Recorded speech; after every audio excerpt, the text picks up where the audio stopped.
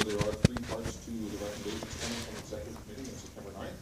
First being that city council delegate the authority of the chief operating officer or his designate to negotiate and approve the contract with the University of Regina Students Union as further detailed within this report. Part two, that city council approve the advanced capital purchase of five 40-foot buses with the estimated cost of about two and three-quarter million dollars from the general fund reserve. Three, that once the agreement has been approved by URSU and the Board of Governors of the city and the City of Regina Council, the city clerk would be authorized to sign the applicable agreement on behalf of the city once the agreement has been reviewed and approved by the city solicitor. Your worship, that would be the recommendations coming from the executive. A second. Thank you very much. Um, We have a second for that, I believe, so. Got, I call a second for it. Council Young. Council Young. Okay, other speakers to the report? Other speakers to the report? Council Hawkins and Council Down. Uh, Thank you, Your worship. Council's well aware of my opposition. Council's well aware of my opposition to this, so I'm not going to belabor the point, but I do want to again uh, say why I'm opposed to the UPass. First of all, I wouldn't be opposed to it if I thought that this UPass had been approved in a proper referendum. What the referendum was, was a vote of a fifty-four percent of the students in favor of negotiating a deal. The deal suggested, the only detail given was between, that the pass be between seventy and ninety dollars. I believe, and I think the figures show, that the cost of the U-Pass, one way or another, to students will be over ninety dollars a a student a term. I also uh, know that the uh, students were never told there'd be an administration fee charged by URSU for the uh, UPass program. I also know that the point was not made by the student union or the administration of the university or anybody else because it wasn't known at the time of the referendum that the entire cost of implementing the UPass and the additional bus routes would be borne by the students. The entire risk is on the students for this program. I think those are substantive differences. I think that students deserve the right to vote on the, um, to vote on the, uh, the contract as it's now drafted and proposed. I think they haven't been given that opportunity, and unless they're given that opportunity, I think that the program lacks legitimate approval. Secondly, I think that this program without that approval amounts to a tax on those students, on the whole student body, but in particular on the student body that will be paying for this enhanced service, service the city has a responsibility to uh, provide for all of its residents. Those students will be singled out to pay for the entire part of this service. I simply don't think that's fair. This is a service that we should implement as a city to enhance our transportation system to the new areas of the city, I think the cost of that uh, service should be borne in the very same way that the cost of the entire transit system is borne. I do not think students who are among the most indebted and amongst the poorest of our citizens should be required alone to finance uh, the service. This is indeed an excellent deal for the city. Unfortunately, I don't believe it's a fair deal for the students who don't wish to make use of this service. Thirdly, I am conscious of the rising rate of tuition. Every year tuition goes up by three or four or five percent. This year or next year, beginning in 2016, it will in all likelihood go up by three or four or five percent.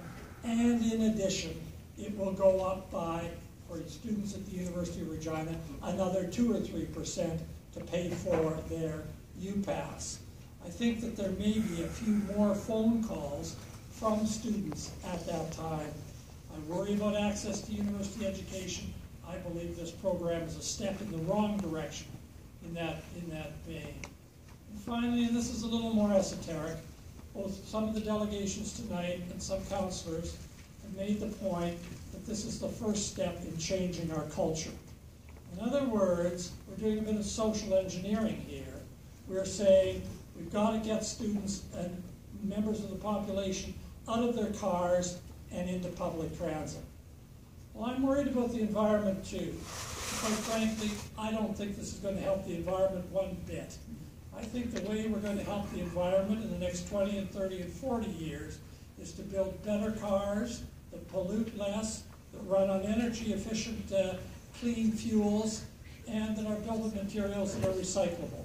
In other words, I think that we're going to solve the problems of urban transit through technological innovation.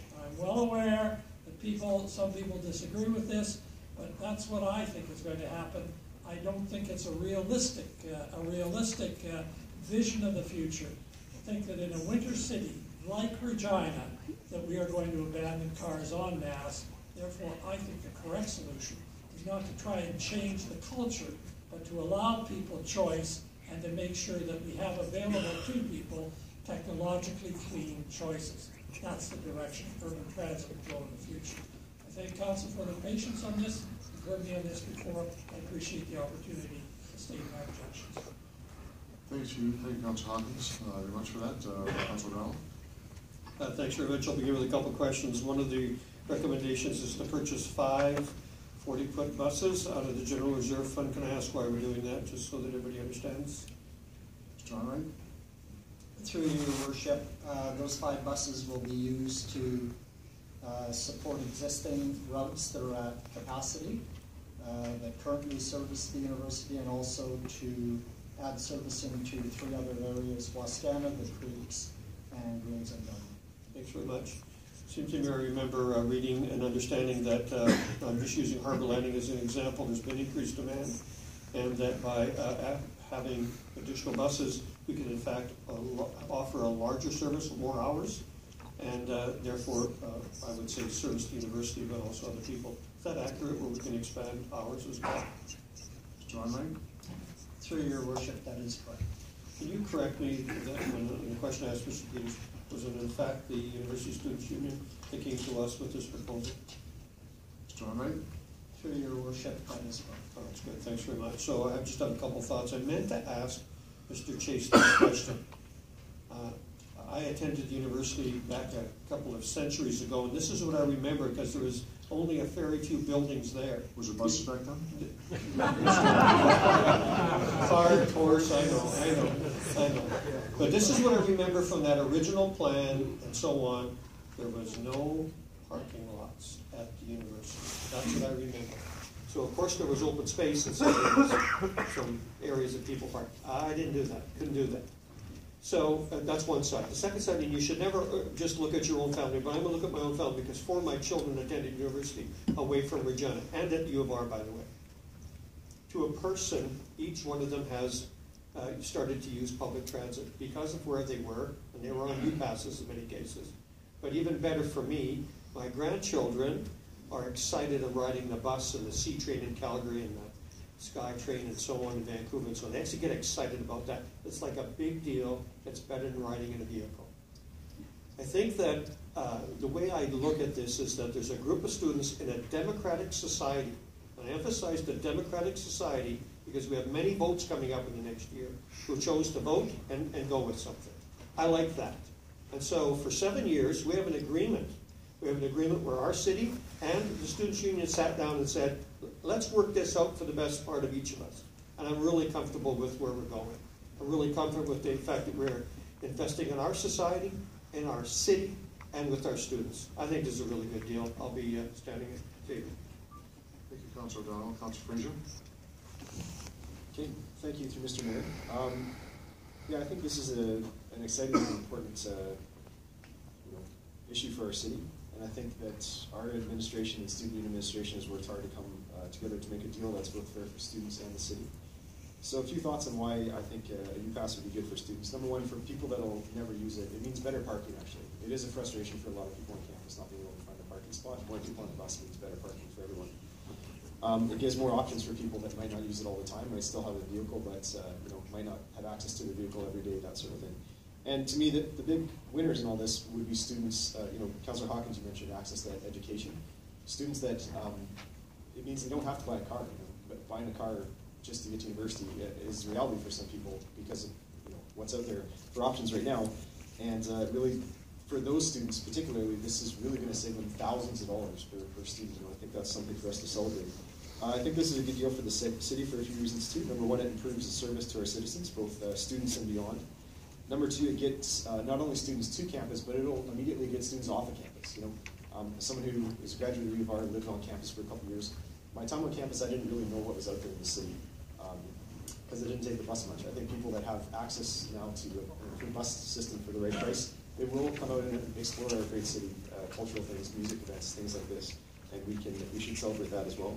And also, it came up about cultural change. I think the big cultural change piece here is that um, immediately, but especially as time goes on, we're going to start graduating uh, transit riders. You know, when people graduate university and they have a few years of riding the bus under their belt, it means they're going to keep riding the bus. Uh, I think we do have an existing culture right now in this city that the assumption is people ride the bus because they have to. And that's, that doesn't have to be like that. People can ride the bus because they work hard for their money and they want to decide how they spend it. And having a better transit system is one more option for them to spend their money in a good way. And I think this is a very, very important step for us working towards that. So I fully uh, completely support this, and uh, I'm really excited to see it hopefully go forward. Thank you. Thank you, Council Fraser. Council Bryce. Thank you. I'm not gonna repeat anything that's already been said. I know we have a long evening this evening. I'm just gonna bring up two other points, because I've debated this back and forth a little bit, and, uh, I truly think this is a good deal for the people of Regina, the people that we represent, so, so that's why I'm in favor of it. But I also see and have heard from a couple of students who say, I'm unable to take the bus to university, because I work right after school and I have to drive to and from. They have to still take their car. So it's still a financial hardship for those students. They still need to pay that ninety dollars no matter what. So they're paying, they're parking their car and ninety dollars on top of that. I am cognizant of that, and I, I do feel for those people as well. And, and we do realize that it is an extra cost for the students, so I just wanted to add those two points. Thank you, Council Bryce. Council Burnett.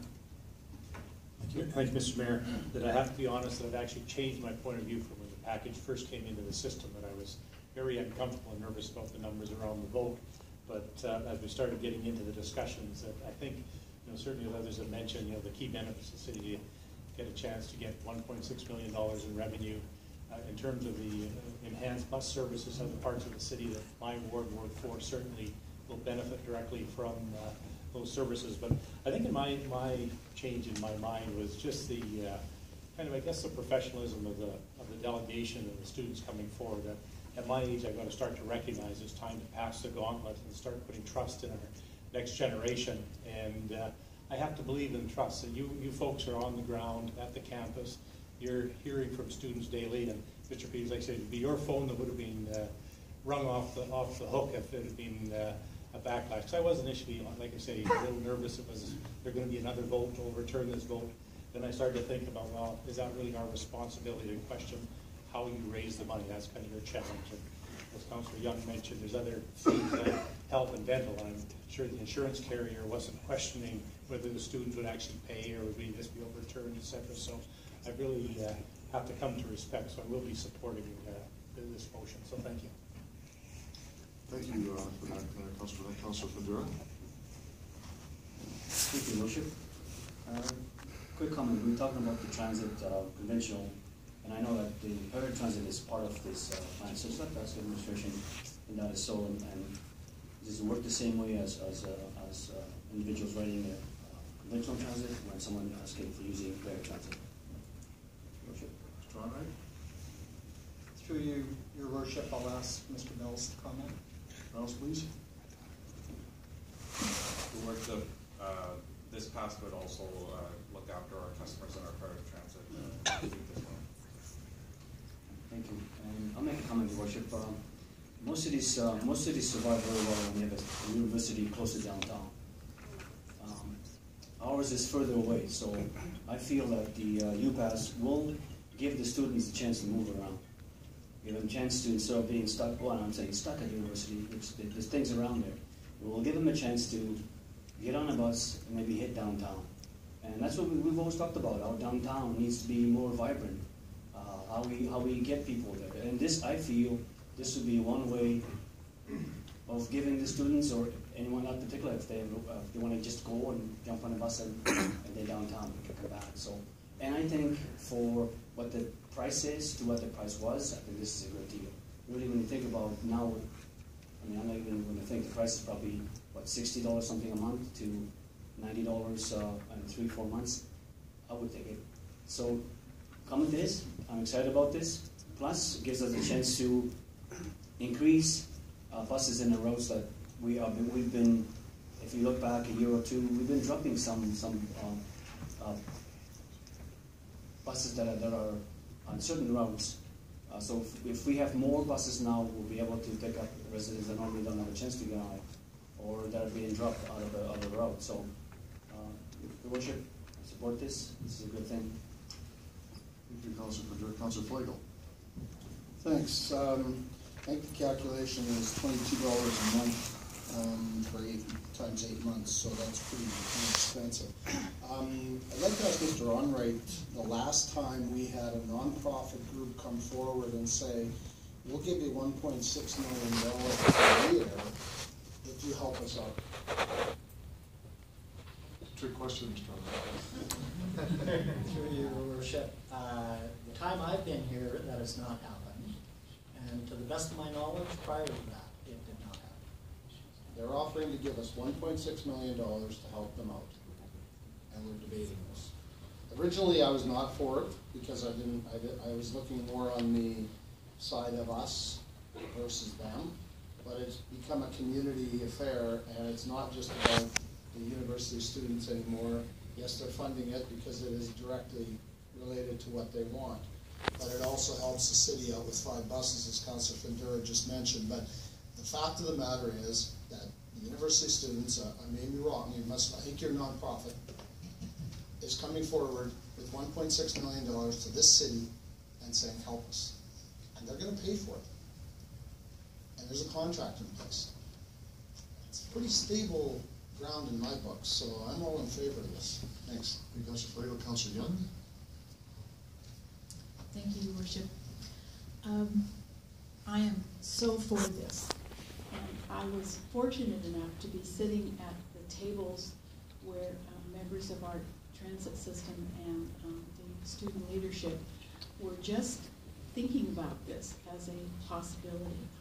I was there to listen. I was the counselor from Ward One, where we have parking issues, and uh, also um, the U of R is in Ward One. So I was I was really interested in, in, in this whole idea, and and so my my comment is to compliment the leadership on the part of the city, people in transit, Mr. Onrait, and the students for being able to come up with an agreement in such a short space of time and so well done.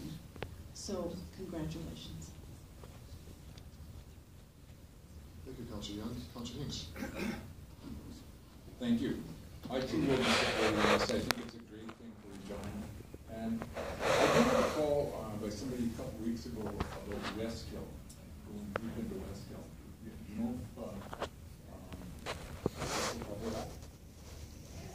Well, do you, do you actually? Through your worship, I'll ask Mr. Looney to comment. Absolutely. Um, the service that was discussed with the students union, uh, was high level, so it's not defined at this moment.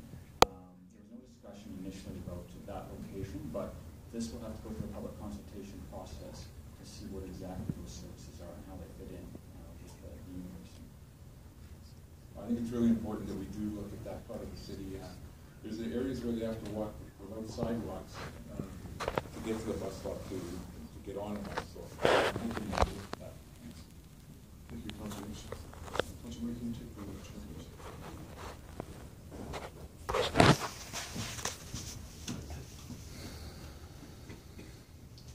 Your worship.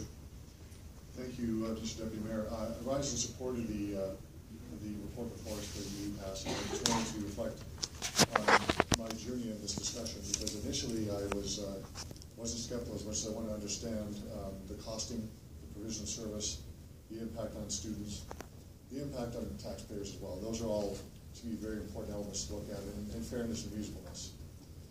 It is clear that uh, this is a, a good deal for both sides, but in particular, it's a good deal for the city of Regina. Councilor Hawkins makes a, a good point, where the risk is not with the city at all, absolutely not. It's with students. But the students have thought about it and they're prepared to accept that. And uh, they've done their, you're uh, modeling to see the number of students that'll be here, that's all well and good. And I support that, it's, it's a good plan for everyone. Uh, I'm not so sure that it- it'll, it'll revolutionize how we take transit in the city, I think that, that, that will be evolutionary prospect over a number of years. But anytime we can enhance bus service across the city, that's very good as well. The only part that I think about on this one is the manner in which those were included or excluded from voting. To me, if you want to make it a universal program, everyone votes. Whether you live within a mile of the university or you live outside the city, you should have the right to vote and the right to participate. And if you decide there's going to be exclusions, they should be very narrow in exclusion. That being said, the city of Regina is, is not a party to the mechanics of a referendum and how it's worded and how people are included or excluded. We take the information from the University Student Union. I would only say that in the future, on a program that's classified as universal when it really isn't, there should be some recognition of that fact. That being said, this, in a high level, is good for the city, good for the students. And when I got to the uh, executive committee meeting and I had read the reports, and I was thinking, you know, where, where is the downside here? What is it? A guaranteed revenue source for seven years. Would be benefits. If that's how the student union feels that, that way, and they do, I'm all for it. Are we adding new uh, routes for the city? Yes, we are. So the general public will also benefit from the enhanced service across the city. It really is, aside from the point I made about the referendum and the there is no downside, so I will support the, uh, the impasse. Thank you.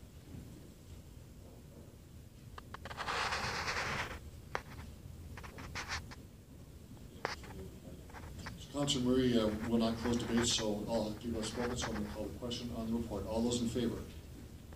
Those opposed? Motion's carried. We'll move on to our next uh,